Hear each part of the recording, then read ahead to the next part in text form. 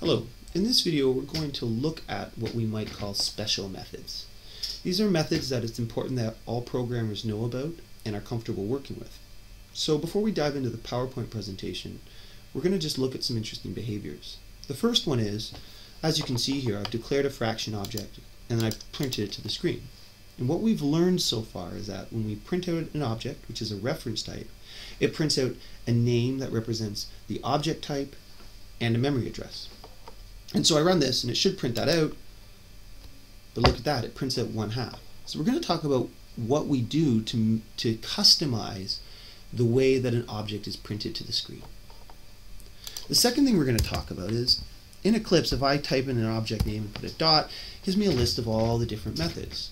Now you haven't looked in my fraction class, um, and if you do the same thing as me, you'll you'll notice this as well. But you have a whole bunch of methods that haven't been written. So I'm going to tell you that a lot of these methods here I haven't written. So the question is, where do they come from? And so in this presentation, we're going to start to address that question.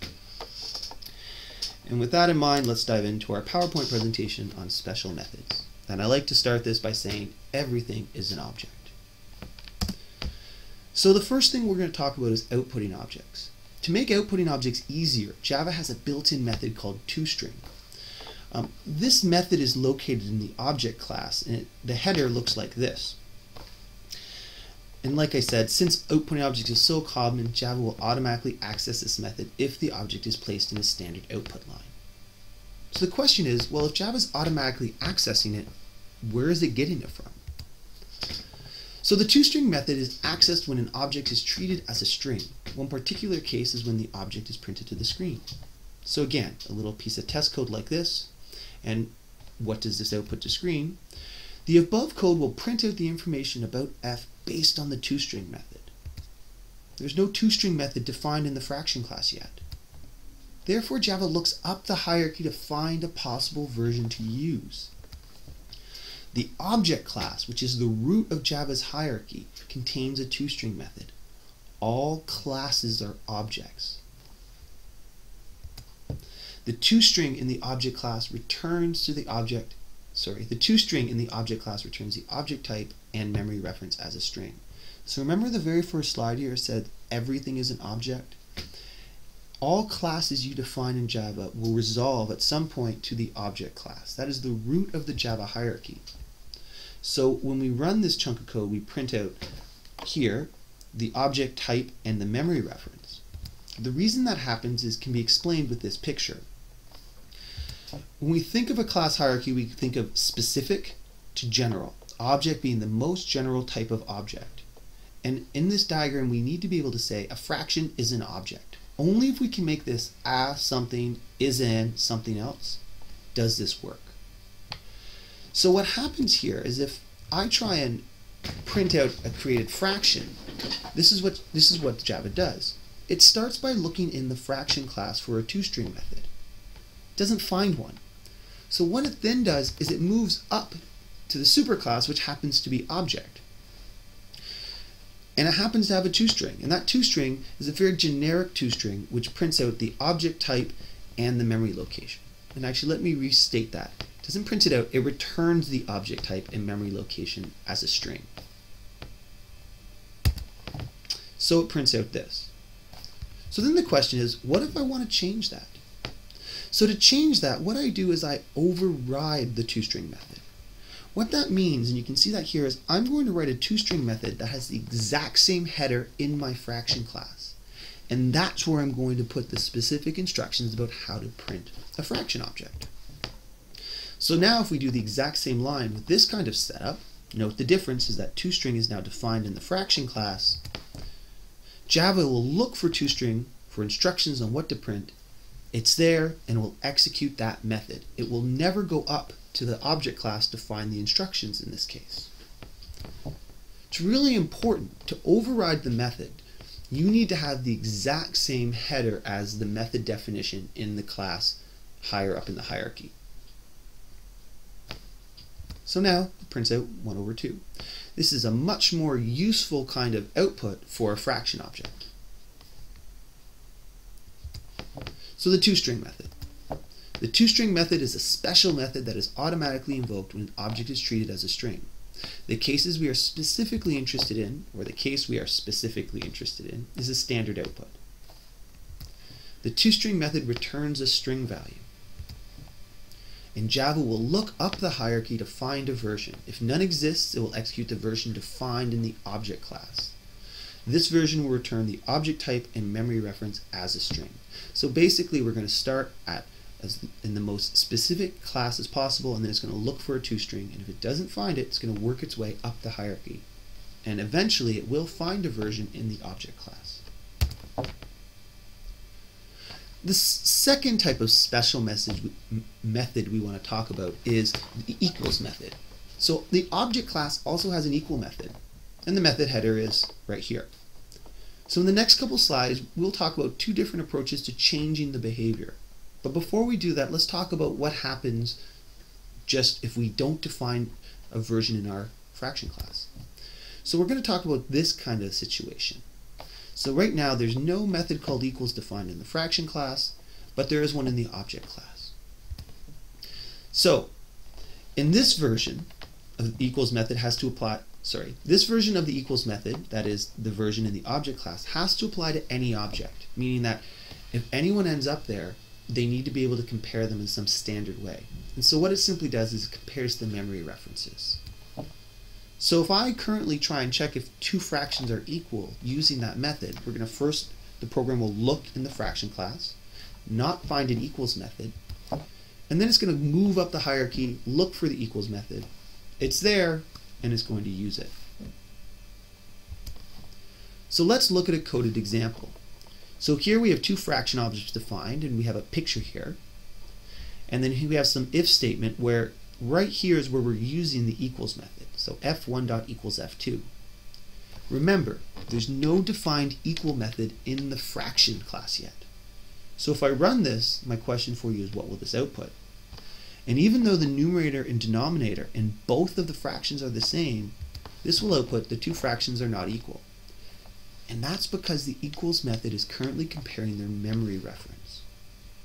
Let's change it up a bit. If I execute the code now, we notice that both the fractions refer to the same object. So if we compare the memory references, the two fractions are equal. Well, the statement isn't completely true since the equals method in the object class compares the memory reference.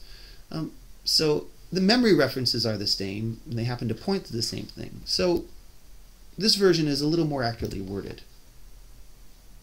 So now if, if f1 dot equals f2, we're going to say there is one object, the two references refer to the same object. Else, there are two objects, each object has its own reference. So if we run the code given the current setup, we're going to see that there's one object, the two references refer to the same object.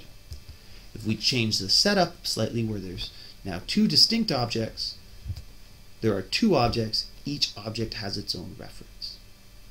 So really important, the, the default equals method, which is defined in the object class, compares memory references. That's not really great if we want to compare fractions, because probably we want to compare if the numerators and the denominators are the same. So what we're going to do so the first technique to deal with this is we're going to create a different equals method. So notice here, we've put an equals method in the fraction class, but they're not exactly the same. I want to compare a fraction against another fraction. So as opposed to passing an object as a parameter, I'm going to pass a fraction as the parameter. So here's our setup. And again, like I said, both methods are called equals. However, the parameters don't match. They're, they are different versions. This is really important. In the case of the toString method, the method headers were exactly the same, so we were overriding the toString method. We are not overriding the equals method here. We are writing a custom version of the equals method. And the reason why it's useful is because if I actually go and invoke the method, we're going to look in the fraction class first for a version that works, and we're going to find this version. So if a fraction object invokes this method, it will start looking for it at the bottom of the hierarchy. This is what your equals method might look like. And we just look at this point here, we're going to compare the past, the past numerator to the implied numerator and the past denominator to the implied denominator. A couple things we want to make sure we get from this slide. it's essential that you must first check the past object is not null. This is critical. Anytime you pass an object into a method, you need to check that it is not equal to null. Otherwise, you will get a null pointer error if it is null. Because what's going to happen is if the object is null, meaning you have a reference but no object there, you're going to try and access a field that doesn't exist, and your program is going to crash. To check if two objects are equal, we compare all the fields. Now this is kind of a standard definition, but of course, you might decide to, to, to redefine how equal objects are, are evaluated. And a nice little point on technique here. Notice our conditional statements have no braces of them. That's because this if statement contains one other line, which is an if statement, which contains one other line, which is return true. Of course, we like to be efficient in our code, so here's a version that's a little more efficient, a little more condensed. Um, so since this method returns a boolean, we can just write a boolean expression in the return line. It's important to note here that we want to make sure we put our other is not equal to null as the first condition. Remember, when we have a string of AND conditions put together, if the first condition fails, it doesn't actually evaluate the rest of them. So by putting other not equal to null at the start, if other is null, it's never going to make it to the other two conditions, the ones that will cause that null pointer exception.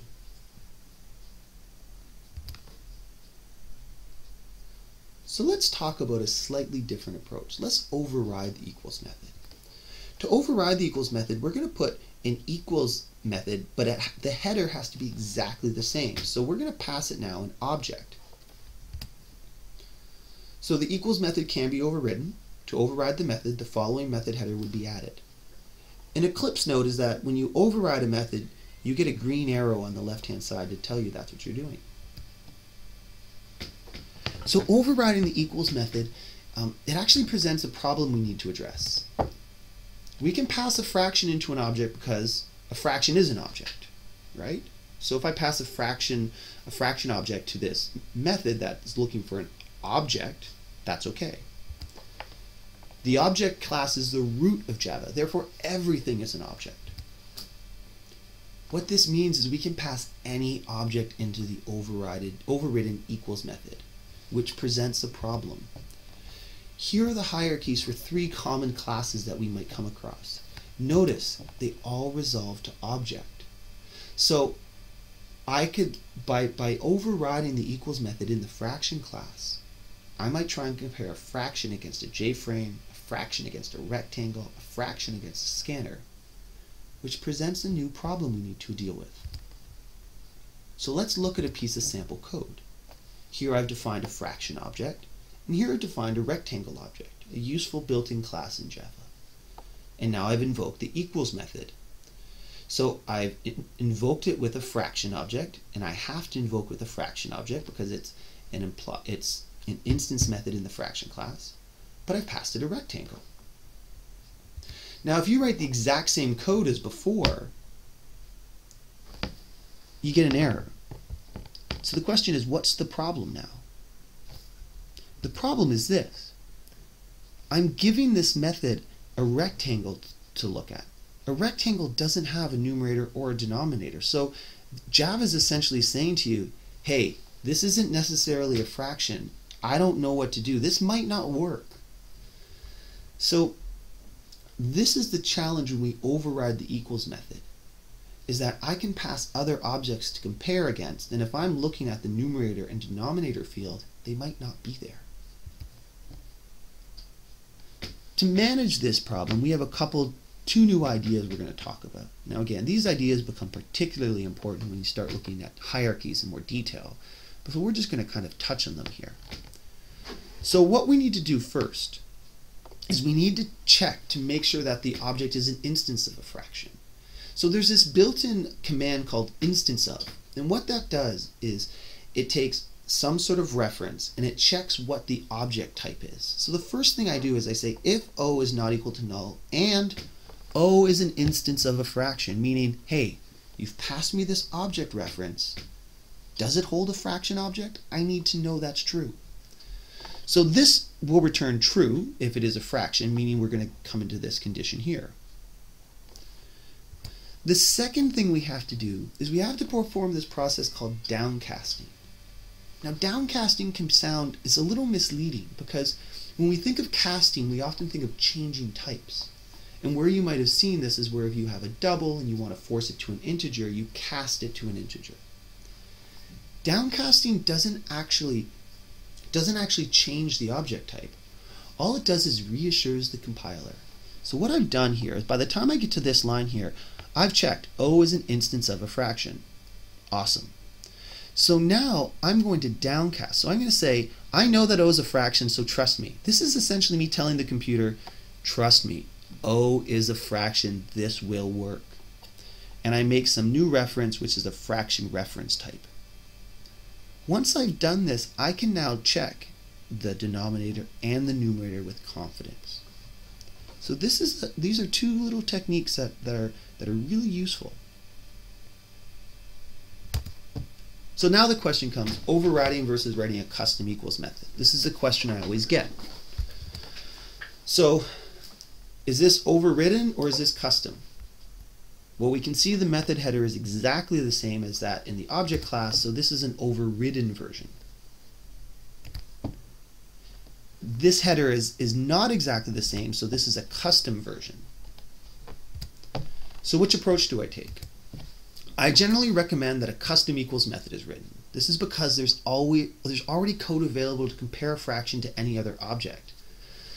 That is the code in the object class. So it's still accessible if I if I pass if I try and compare a fraction against some other object, it's going to end up there using it. So there's no point in rewriting it.